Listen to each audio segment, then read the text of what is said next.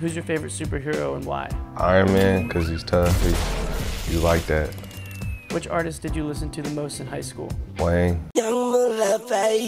What's your favorite sport other than football? basketball, What was your favorite Halloween costume? being a referee. How do you like your steak cooked? No pink. What was your first car? Toyota Corolla. If you had to eat one meal for the rest of your life, what would it be? Fried chicken.